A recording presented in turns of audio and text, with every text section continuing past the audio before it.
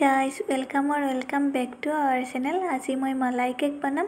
তো আপোনালোকে ভিডিঅ'টো শেষলৈকে চাই থাকক মই কেনেদৰে বনাওঁ। আৰু যদি ভিডিঅ'টো ভাল পায় তেতিয়াহ'লে লাইক কৰিব কমেণ্ট কৰিব শ্বেয়াৰ কৰিব আৰু লগতে আমাৰ চেনেলটো ছাবস্ক্ৰাইব কৰি দিব। আৰু এই ৰেচিপিটো বনাবলৈ একেবাৰে সহজ তো আপোনালোকে ঘৰত ট্ৰাই কৰি চাবচোন কেনেকুৱা হয়। তো ব'লক এতিয়া ভিডিঅ'টো আৰম্ভ কৰোঁ। মলাই কেক বনাবলৈ প্ৰথমে আমি কেকটো বনাই ল'ব লাগিব। তাৰ কাৰণে মই চাহ খোৱা কাপেৰে দুকাপ ময়দা লৈছোঁ এচামুচ বেকিং ছ'ডা লৈছোঁ আৰু পাঁচ চামুচ চেনি লৈছোঁ। এতিয়া গোটেইখিনি ভালদৰে মিহলাই লৈছোঁ।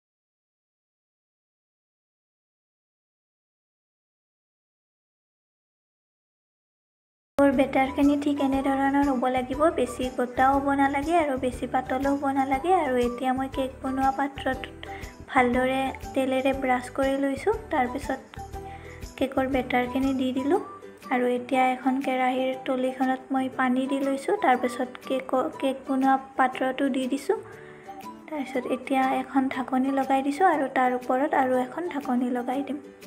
এতিয়া গেছৰ ফ্লেমটো হাইত ৰাখিব তাৰপাছত পোন্ধৰ মিনিটমান হোৱাৰ পিছত গেছৰ ফ্লেমটো মিডিয়াম কৰি দিব।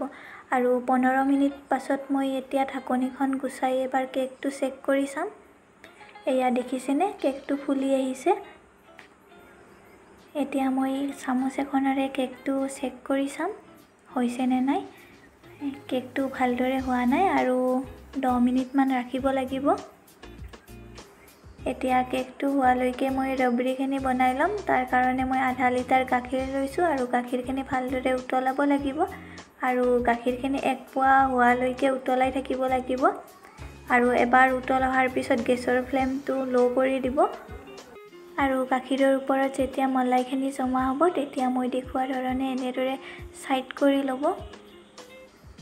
আৰু শেষত এই মলাইখিনি ছাইডত যেতিয়া শুকাই যাব তেতিয়া গাখীৰৰ লগত মিক্স কৰি ল'ব লাগিব শেষত। আৰু এতিয়া মই ইলাচি দুটা আৰু চেনি দি দিলোঁ। চেনিৰ প্ৰয়োজন অনুসৰি দিব। মানে আপোনালোকে যিমান মিঠা খায় তাৰ হিচাপত চেনি দিব। দেখিছেনে? মলাইখিনি ছাইডত শুকাই লাগি ধৰিছে। আৰু তেতিয়া মলাইখিনি গুচাই আকৌ গাখীৰত মিক্স কৰি দিব।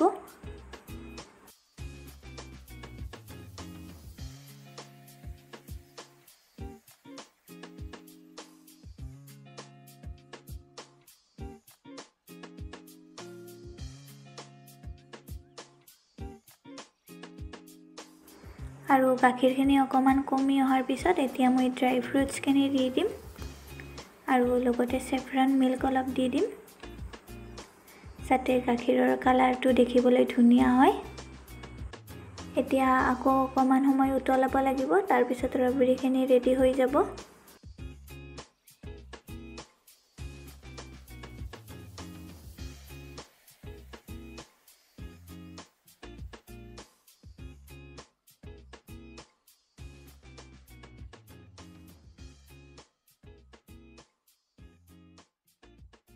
আমাৰ ৰবৰিখিনি ৰেডি হৈ গ'ল আৰু এতিয়া মই কেকটো উলিয়াই কেকটো পিচ পিচকৈ কাটি ল'ম আৰু এতিয়া মই কেক কেইপিচ কাটি লৈছোঁ তাৰপিছত ওপৰত ৰবৰিখিনি দি ড্ৰাই ফ্ৰুটছ অকণমান দি দিছোঁ যাতে দেখিবলৈ ধুনীয়া হয়।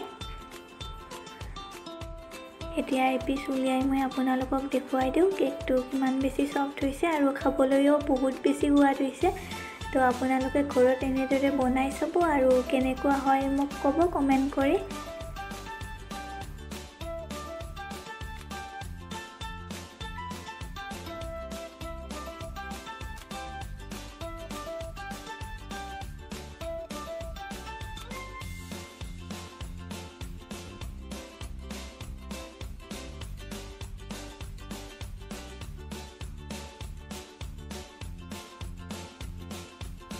তো আজিলৈ ভিডিঅ'টো ইয়াতে সামৰোঁ আৰু যদি ভিডিঅ'টো ভাল পাইছে তেতিয়াহ'লে লাইক কমেণ্ট শ্বেয়াৰ কৰি দিব। লগতে আমাৰ চেনেলটো ছাবস্ক্ৰাইব কৰি দিব। বাই